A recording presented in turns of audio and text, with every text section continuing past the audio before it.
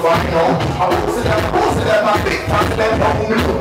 Them boy, they go so low. You protection, action, and fighting, you know me, I know. If you know boys a pussy or a fussy one, one thing you know with them. Slew them and be a feeling them not guaranteed. Red blood pussy a friend who's.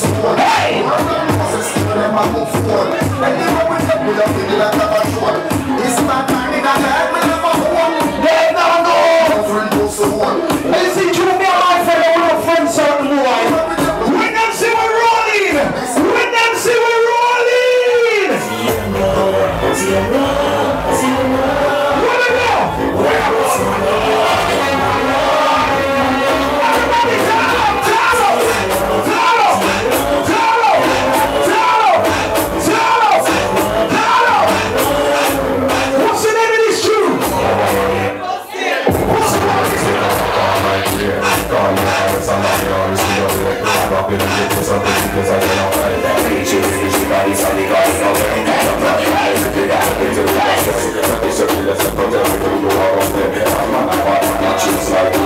This is an adult's night out. It is raunchy, X-rated and at times even violent. I wonder how we would react to the sight of children amongst this crowd of explicit adult behavior. How much of us would take our young children with us to an environment such as this one? I suspect that not a lot of us would. As an adult, if this is not to your liking, you have the option of voting with your feet. Radio on the other hand is a lot less easy to control. It is more intrusive and very hard to protect our children from. This is me, driving along, proud to be entertained by people of my culture. Happy for the opportunity to be able to listen to the music of my choice. Well, that is until the assault and abuse from the radio up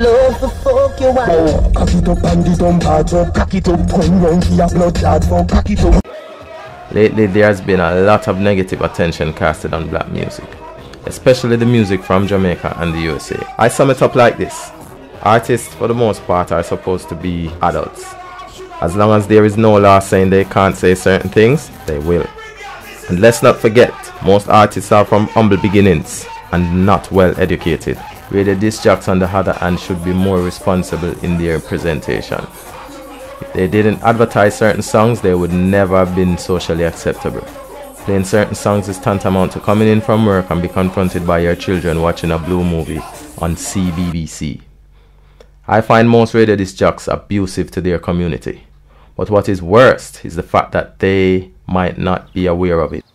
I find myself wondering if the mature responsible segment of our community have any issues with this vulgarity, violence, or profanity coming through the radio waves. So I decided to speak to members of the community.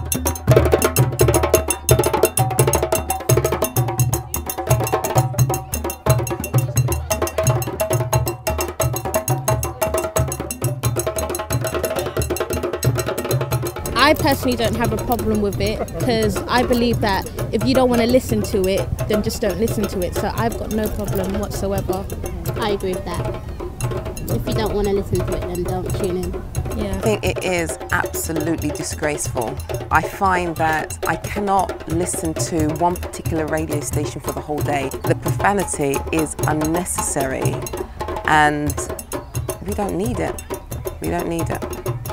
You can only get those type of DJs only on pirate radio. But my major concern is really on the children, on the younger children who haven't got common sense to decipher, you know what, that's not right. They grow up, they're growing up idolizing, you know, these artists. Hmm. But I think with that, that's where you just have to teach your child right from wrong. Because your, your child's going to grow up to be in a society where a lot of things change. Yeah. And I think you can only do so much in your household. When your child steps out into that real world, there's going to be so much influence. So you think it's okay for pirate station to play the raw material? Yeah, why not though? It depends on the type of material. If you're talking explicit lyrics, swearing and cursing and that, minor. Because who don't curse? Yeah? I think the DJs have a responsibility. The DJs in the UK, they're like celebrities and they have an open forum to influence. Okay, so I want to speak directly to the DJs. I think more time you think you're just playing to you and your brethrens, but actual fa- in actual fact you've got the community listening to you because you're playing on a community radio station, or at least that's what I believe pirate radio stations should be. The problem is, is that a lot of the tunes that you're playing, I just want to hear in a dance. So shoot, shoot, you know, tunes about bullets and shooting up man and gal, skin out your pom pom and all of these tunes aren't for radio.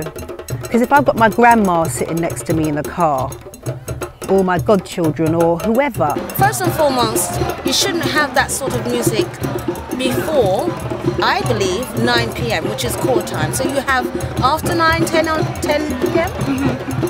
You can play the type of music you wish, but right beforehand, it does send out the wrong messages to the people, and, and the lyrics is, is just totally degrading to all generations, more importantly to women. And then you have women who are encouraged to dance by this kind of music. But The lyrics is more than degrading, it's beneath us.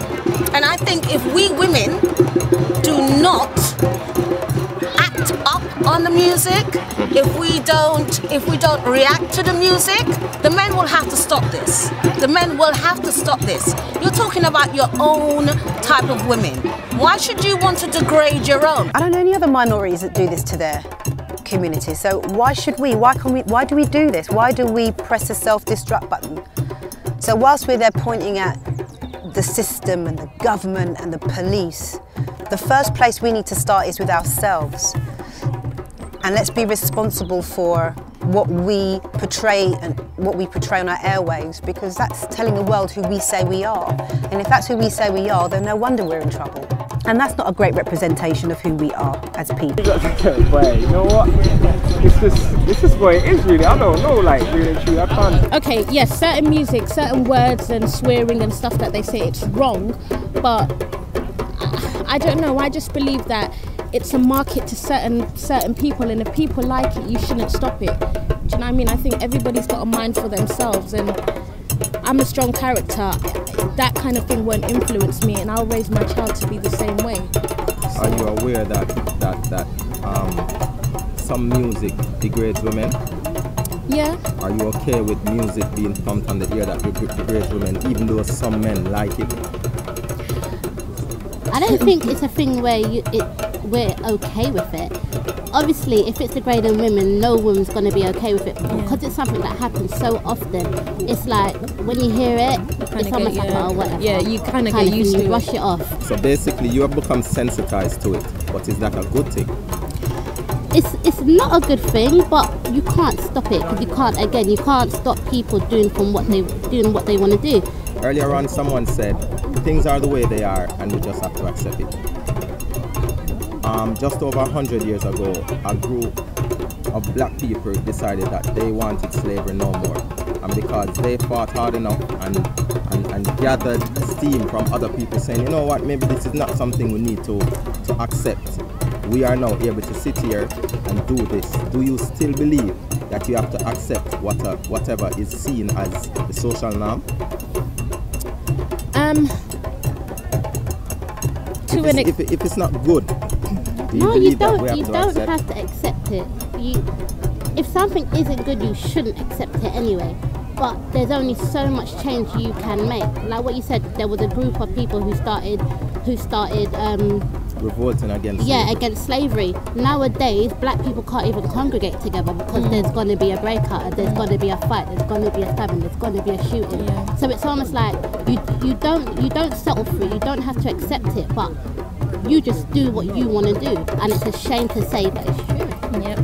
And what if what if the music is, a, is contributing to that? But then, but then, if the music is contributing to that, then okay, fair enough. To an extent, it needs to stop. But it's like, it's kind of unfair because if the music, if you're gonna stop a certain kind of music, then you might as well stop all kind of music. I think like the way the world is, it's just like every, it's like every man for themselves. Like people just do what they want. It's, But in saying that, that's not a good thing. If that is every man for themselves, I think we should be able to work as a community. We should be able to work together. But this society is It just don't not like that at all. After speaking to some residents, it was obvious I had to confront the DJs who are not afraid to defend their position. I needed to find out more about the history of black pirate stations. Who better to speak to than people who were there from the beginning? I decided to drop in on the president's radio show.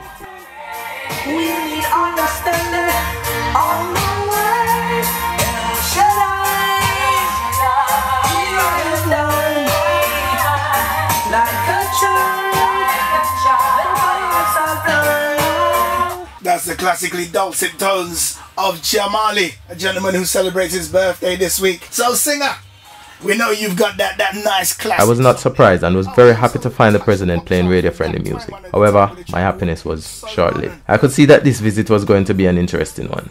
The following is what I uncovered over the next few months.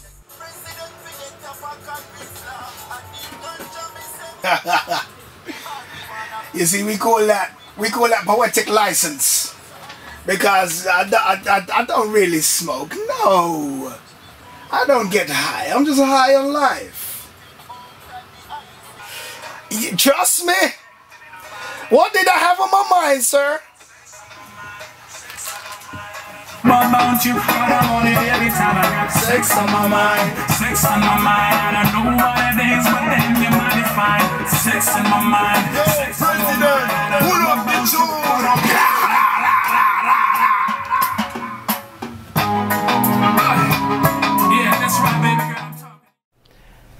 My name is Kennedy Mensah, otherwise known as. Hold on. Yazid, Yazid, Yazid, Yazid, Yazid. Otherwise known as President. Make sure you spell it right, you know. P R E Z E D E N T. Don't get it twisted. Back to the future representing. I'm a journalist, DJ, compare, and I'm also a music publisher. Got a company, Back to the Future Music. Um, our forte is reggae music, but the company deals with all sorts of music. Uh, my name is DJ OP, represent Isla Family, promoting music on the radio for the last 30 odd years, playing the best in the UK and promoting just music. My name's DJ Fatman. I'm on Roots FM on a Monday night from 8 till 10. And I play an upfront, rare groove and revival and R&B show. My name is Seani B, the remix kid, broadcaster, producer, DJ, just love music, you know what I'm saying? Used to broadcast on BBC Radio 1 Extra and Radio 1. Got a label, Big League Productions. So yeah, I'm just involved in the music 24-7. My name is movie star Johnny. I'm a disc jockey, radio disc jockey. Also, um, yes, dancehall selector and a promoter based in London, England. DJ Young Lion, BBC One Extra presenter, broadcaster, also BBC Radio 1. I'm a DJ entertainer. You can see me all about the place, all, all across the globe, all across the UK. Mud. When will things change? When will we and engage in more positive things? Isn't it strange how the youths have lost their way?